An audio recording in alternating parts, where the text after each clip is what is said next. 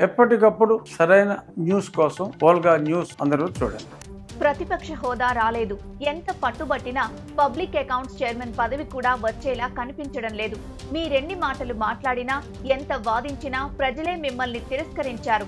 మేమెందుకు మిమ్మల్ని గుర్తించాలంటోంది కూటమి ప్రభుత్వం. ఇక మీకు హోదా దక్కడం కలే. బద్నాం చేసేందుకే మీరు ప్లాన్ చేయొచ్చు. కానీ ఓ పద్ధతంటూ ఫాలో కావాల్సిందేనంటోంది కూటమి సర్కార్. పిఎస్సీ చైర్మన్ పదవి విషయంలో బిగ్ ట్విస్ట్ ఇచ్చింది ప్రభుత్వం. దీంతో ఏదో చేద్దామనుకుంటే ఏదో అయిపోయిందని కంగుతిన్న ఫ్యాన్ పార్టీ లీడర్లు డైలమాలో పడిపోయారట. ఇంతకీ పిఎస్సీ విషయంలో ఏం జరిగింది? వైసీపీ వేసిన స్కెచ్ ఏంటి? కూటమి సర్కార్ ప్లాన్ సక్సెస్ఫుల్గా వర్కౌట్ కాబోతోందా? మరో కీలక పోస్ట్ విషయంలో ట్విస్ట్ ఇచ్చింది కూటమి సర్కార్. ఇప్పటికే ప్రతిపక్ష హోదా ఇవ్వలేదని గగ్గోలు పెడుతోన్న వైసీపీకి ఇంకో షాక్ ఇచ్చింది. పబ్లిక్ అకౌంట్స్ చైర్మన్ పదవి కోసం ఫ్యాన్ పార్టీ అభ్యర్థిని పెట్టగా అంత సీన్ లేదు. మీకెలా పిఎస్సీ పదవి వస్తుందంటూ జలకిచ్చింది. ఏకంగా చరిత్రలో ఎప్పుడూ లేనట్లుగా పిఎస్సీ ఎన్నికలకు దారితీసింది. పిఎస్సీ చైర్మన్ పదవికి YCP MLA Peddireddy Ramachandrareddy nomination వేశారు. దీంతో పిఎస్సీ చైర్మన్ పదవి ఎవరికి దక్కుతుందనేది హాట్ టాపిక్ అయింది.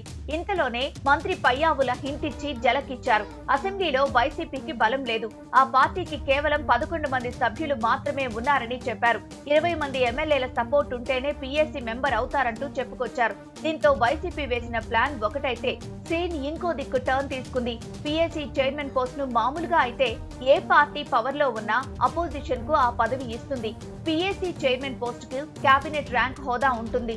ప్రభుత్వ పద్దులన్నీ పిఎస్సీ నుంచే వెళ్తాయి. ప్రభుత్వం పద్దులు ఏవైనా పిఎస్సీ పరిశీలనకు వెళ్ళాల్సిందే. అలా ప్రభుత్వం వన్ సైడ్ డెసిషన్స్ తీసుకోకుండా పిఎస్సీ పోస్ట్ అపోజిషన్కు ఇచ్చే ప్రక్రియ ఎప్పటి నుంచో కొనసాగుతోంది. అయితే చరిత్రలో ఎప్పుడూ లేనట్లుగా ఇప్పుడు PSC chairman post issue hot topic అయిపోయింది. వైసీపీకి తగినంత మెజారిటీ లేకపోవడమే ఇందుకు కారణం. అసెంబ్లీలో ప్రతిపక్ష పార్టీ సభ్యునికి పీఏసీ చైర్మన్ పదవి ఇవ్వడం ఆనవాయితీగా వస్తోంది. కానీ పీఏసీలో సభ్యునిగా ఎన్నిక కావాలంటే కనీసం ఇరవై మంది ఎమ్మెల్యేల బలం అవసరం ఉంటుంది. వైసీపీకి కేవలం పదకొండు మంది మాత్రమే ఉన్నారు. బలం లేకుండానే పిఎస్సీ చైర్మన్ పదవికి వైసీపీ నామినేషన్ వేయడం చర్చనీయాంశంగా మారింది. పీఏసీ కమిటీలో శాసనసభ నుంచి తొమ్మిది మంది సభ్యులుంటారు. ప్రతిసారి పీఏసీ సభ్యుల ఎన్నిక నామినేటెడ్ ప్రాసెస్లో అయిపోతుంటుంది. కానీ ఫస్ట్ టైం ఈసారి ఎన్నికలకు దారితీసింది టీడీపీ నుంచి ఏడుగురు జనసేన బీజేపీ వైసీపీ నుంచి ఒక్కొక్కరి చొప్పున పిఎస్సీ మెంబర్ కోసం నామినేషన్ వేశారు. తొమ్మిది పోస్టులకు పది మంది నామినేషన్ వేయడంతో పాటు వైసీపీ అభ్యర్థికి అవసరమైన బలం లేకున్నా బరిలోకి దిగడంతో ఎన్నికలు అనివార్యమయ్యాయి. దీంతో పిఎస్సీ సభ్యులను ఎన్నుకునేందుకు ఎమ్మెల్యేలంతా అందుబాటులో ఉండాలని కూటమి పార్టీలు తమ ఎమ్మెల్యేలకు సమాచారం ఇచ్చింది ఓటింగ్ ద్వారా పిఎస్సీ మెంబర్లను ఎన్నుకుంటే వైసీపీ నుంచి నామినేషన్ వేసిన పెద్దిరెడ్డి ఓడిపోవడం ఖాయం. పిఎస్సీ మెంబరే కాకపోతే పెద్దిరెడ్డి రామచంద్రారెడ్డి పిఎస్సీ చైర్మన్ కూడా కాలేరు. దీంతో జనసేన పార్టీకి చెందిన పులివర్తి ఆంజనేయులను పిఎస్సీ చైర్మన్ను చేయాలని కూటమి పెద్దలు భావిస్తున్నట్లు తెలుస్తోంది. ఇప్పటికే ప్రతిపక్ష హోదా ఇవ్వడం లేదని వైసీపీ అసెంబ్లీకి వెళ్ళడం లేదు.